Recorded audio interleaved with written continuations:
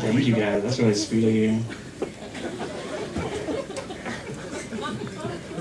There are a few people out there that really just know how to describe me. Words like strong, masculine, real man's man. Those are never words they use. I'm a giant teddy bear. And I'm okay being a giant teddy bear because my wife, yeah, she's super macho.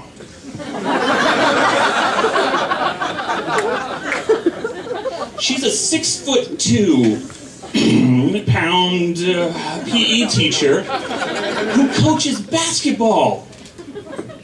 Wow, there's guys out there that strive their whole life to find like the spitting image of their mother. Right? I landed my father.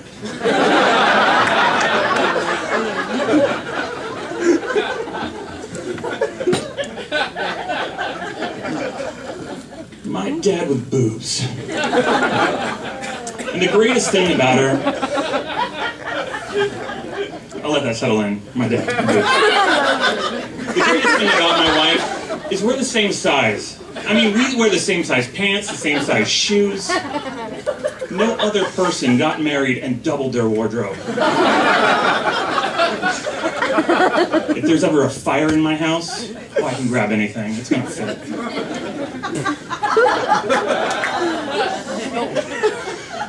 But the only problem is she doesn't like wearing my clothes. Apparently they're too colorful.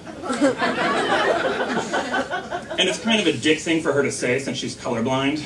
But I really can't pick on her too much because I've got no depth perception. And when she wants to play sports with me, I'm really not that good at it.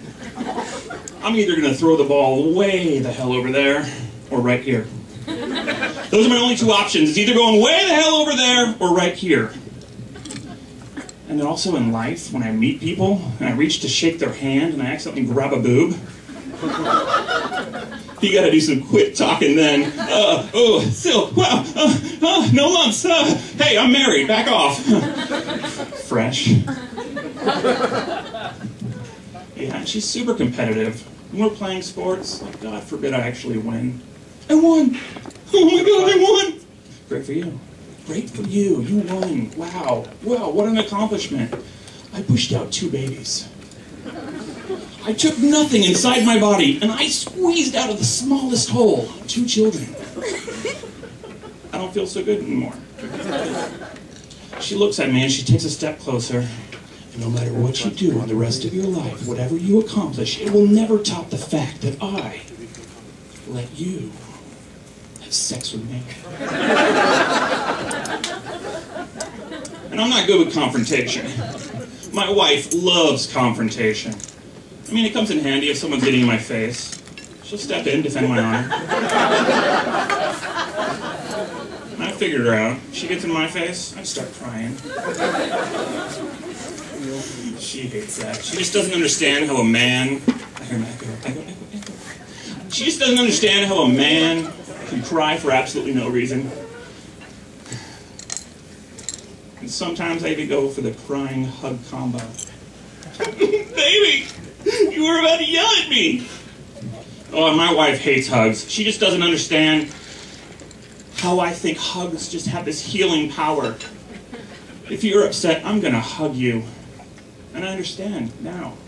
Hugs. Hugs won't solve the problem alone. You got to give them a really tight, really long hug. That'll do the trick. But I give my wife a hard time.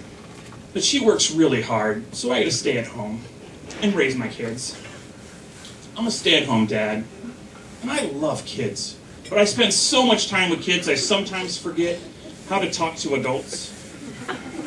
It's never good to go to a bartender and be, I got your nose. You get a speeding ticket, I'm not speeding, I'm Robert Kitchen. Never seems to do the trick. But I love being a dad. Being a dad is just awesome. There's so many great things I gotta do. I gotta spend all day watching cartoons. I gotta go to the park. Even though parks can be kind of tricky for dads. Because uh, half the time I'm really trying my hardest to make sure my kids are having fun and being safe. While making sure the moms don't think I'm a pedophile. I see you, Chris Hansen. From Datelines to Catch a Predator. I see you behind that tree. Back off. Uh-oh, there's a little girl running up. She's my daughter. Come on, give me a break. Or is she? No, seriously, she's my daughter. But I think the best part about being a stay-at-home dad is the fact that I get to have a second childhood. I get to be a kid again. I get to watch Disney movies. I get to go to the library and listen to story time. You know what? This year, I'm going to Chuck E. Cheese to have my birthday party. And Kimberly, you're invited. Thank you guys very much. I'm Robert Kitchen.